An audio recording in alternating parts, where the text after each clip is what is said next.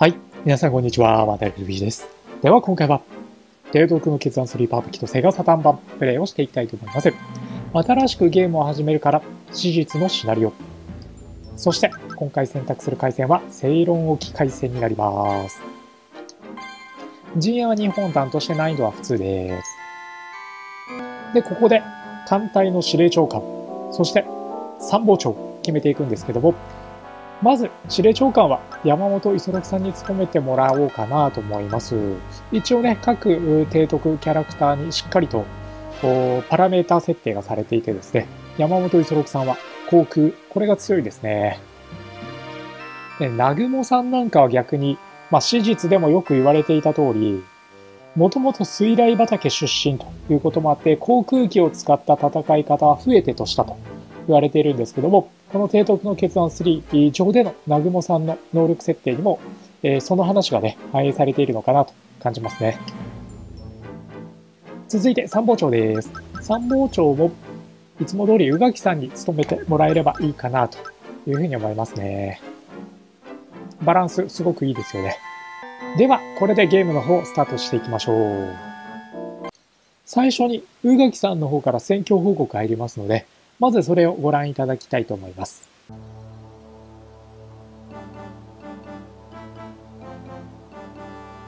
こちらが宇垣さんです。ランイン制圧が完了したということで、この後はね、ラングーンからインド方面を目指していく、まあ、ビルマ戦線というところになると思います。日本軍の方ですが、イギリス軍東洋艦隊、これを撃滅するために機動部隊、空母5隻を派遣するという内容になっています。加賀だけね、座礁事故のため、この戦いには不参戦というところです。作戦の目標です。マンダレー、ラングーン、ここをうまく制圧していこうというところですね。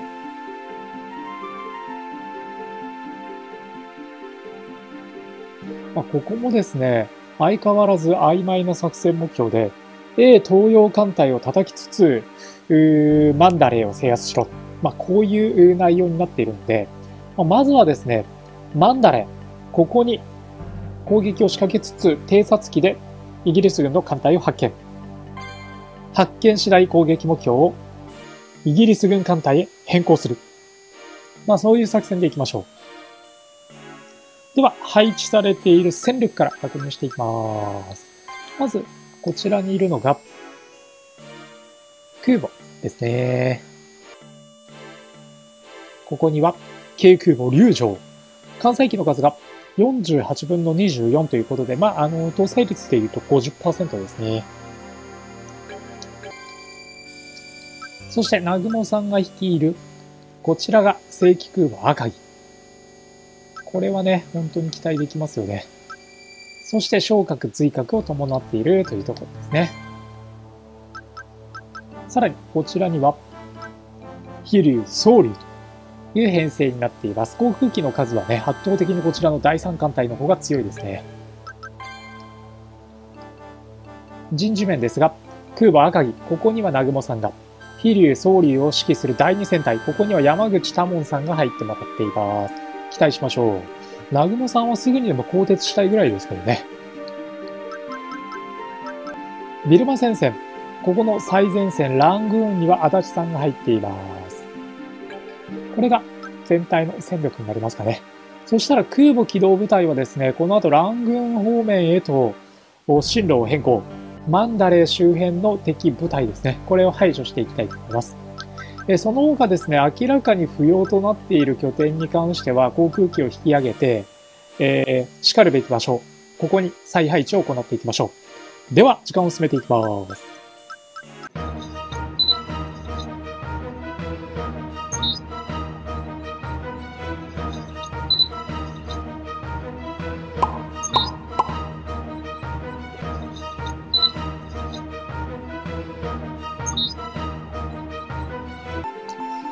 まず、空母竜城のいる第4艦隊ですけども、これ一度ラングーンに入れました。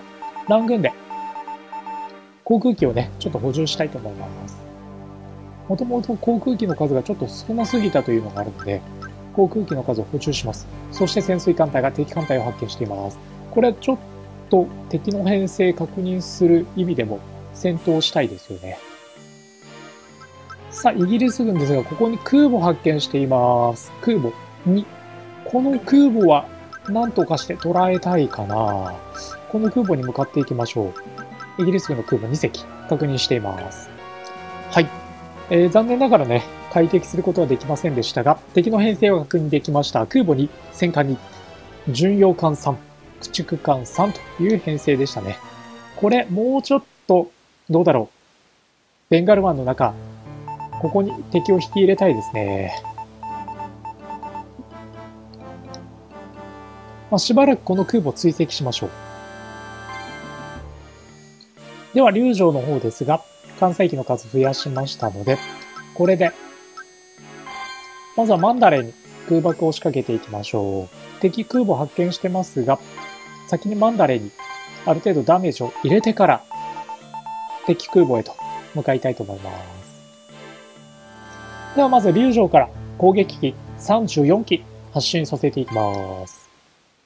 マンダレの様子確認できていないので、これ偵察も含めて重要だ。第1撃目ということになりそうです。さあ、これマンダレですね。どうだろう？ここに飛行場あるけど、敵の方は、うん、あんまり航空機を前面に出してきている感じはあんまりしないですけどね。ただ、敵飛行場の上空には直縁機がいるので、この直縁機は落としておきたいかな。続いて、赤城、昇格髄核、飛竜総流から前期発進していきましょう。これで決着むしろつけたいですね。出撃数310機。これでマンダレを大空襲仕掛けていきます。まずは敵の直縁機ですね。これを完全に撃ち落として、その後、敵の地上部隊ですね。これも叩き落としていきましょう。敵の直縁は上がってなさそうなので、どうだろう、このまま、一気に、敵の地上部隊に攻撃仕掛けていきましょうか。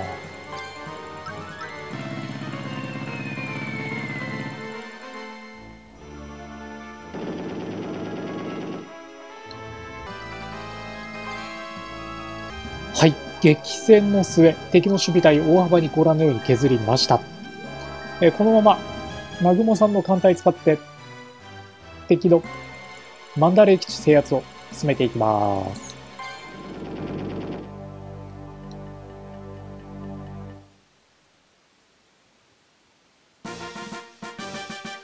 全く本作戦とは関係ないところですが、マニラ、フィリピンのマニラですね。これを制圧して、フィリピン全土帝国軍の制圧圏内に出たというところになります。これでどうだろうフィリピンの一部の戦力をビルマ戦線に送ることができるかもしれないですね。フィリピンの戦力配分、少し考え直します。では続いて、今度は竜城から再びマンダ歴史の攻略を行っていきます。残りの敵の守備隊の数決して多くはないので、この竜城の一撃で仕留めたいですよね。雨か。まあ、雨でも構わず進んでいきます。はい。残念ながら仕留めきることできませんでしたが、もう一撃加えていきましょう。それで決着させます。その一撃。南雲さんの空母5隻から出していきましょう。合計304機、全機出撃で決着します。で、この後、南雲さんの艦隊一度ラングーンに入れてですね、ガソリンと航空兵力一部ですね、ラングーンから乗せて、イギリス軍空母機動部隊の殲滅に向かっていきます。5隻の空母から発艦できると、だいぶ余裕ありますよね。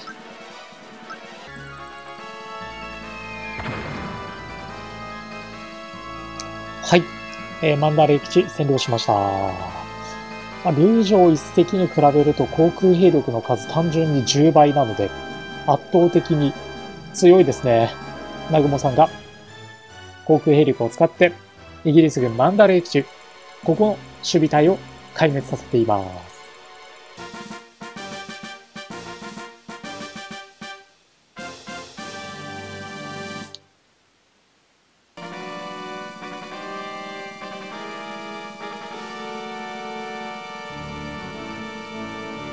さて、そしたら、今回の作戦目標は達成したんですけども、イギリス軍、東洋艦隊、これを何とかして、捕捉、撃滅できないか、もうちょっとチャレンジしていきたいと思います。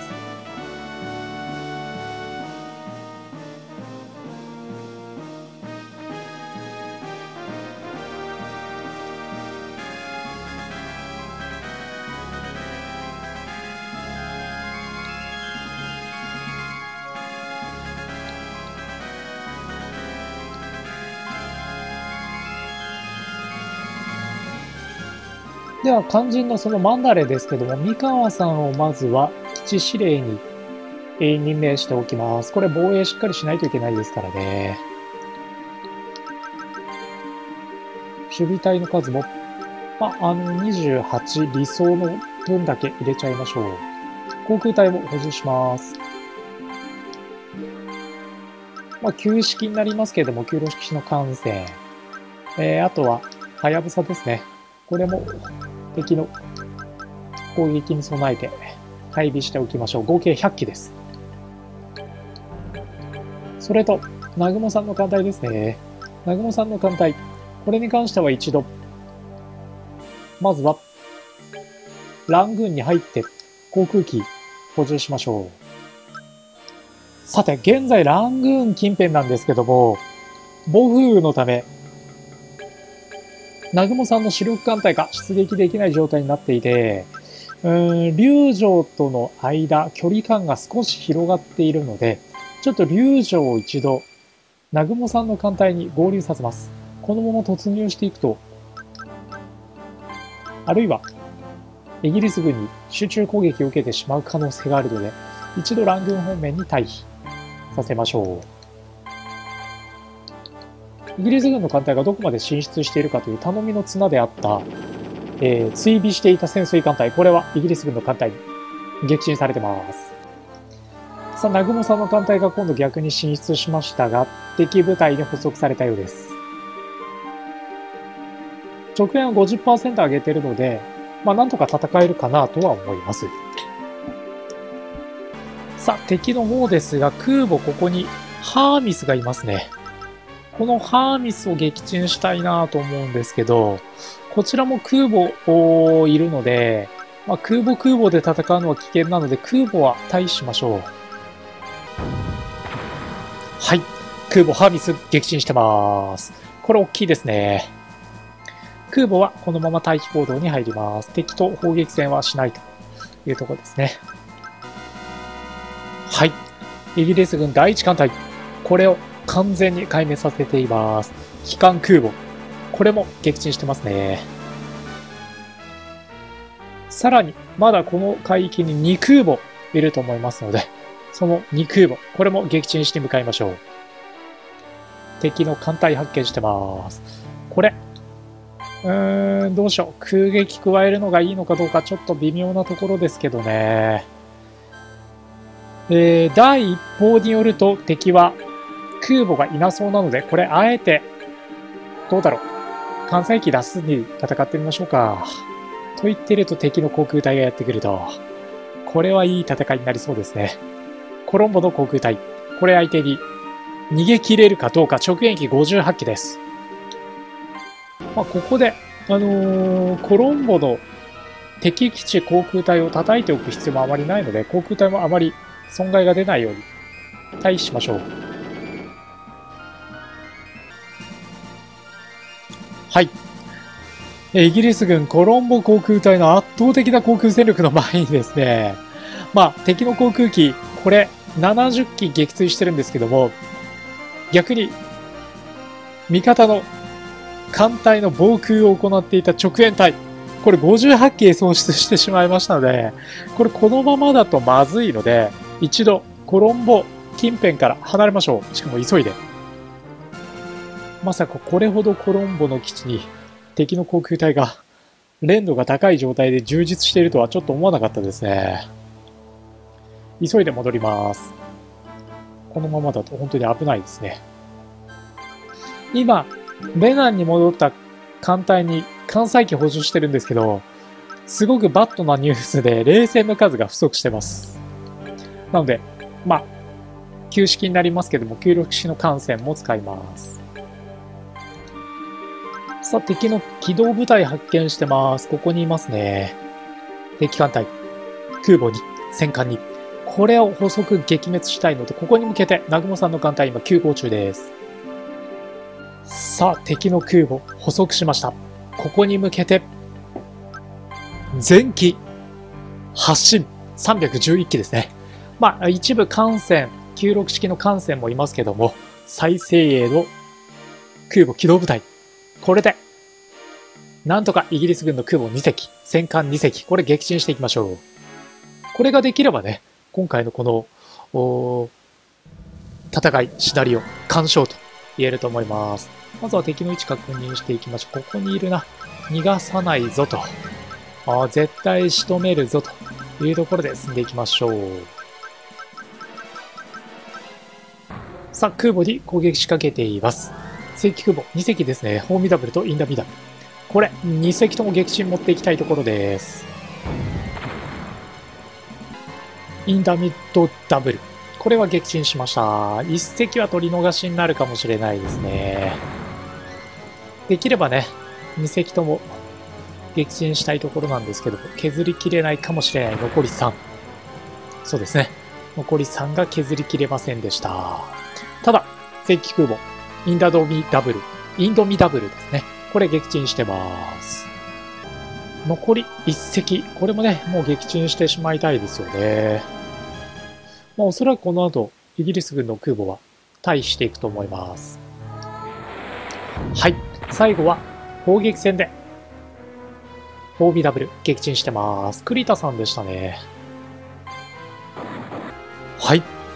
イギリス軍の、まあ、いわゆる東洋艦隊と呼ばれたものは完全にここに壊滅させることができました。まあ、残念ながら我々の方も、えー、軽空母龍城を失うという結果になってしまったんですけども、それでも正規空母5隻、これは健在。一方、イギリス軍の方は正規空母3隻、戦艦も3隻。これを完全に撃沈したという状態です。はい。えー、ではね、ちょっとずつ艦も取り戻してきたのかなというところで、今回で、軽空母、竜将と引き換えり、イギリス軍の戦艦3隻、正規空母3隻、これの撃沈に成功しています。では、今回はここまでにさせていただいて、また次回ですね、あと何本か、えー、ショートシナリオをプレイして、キャンペーンモードへと入っていこうというふうに思います。では、今回はここまでにさせていただきます。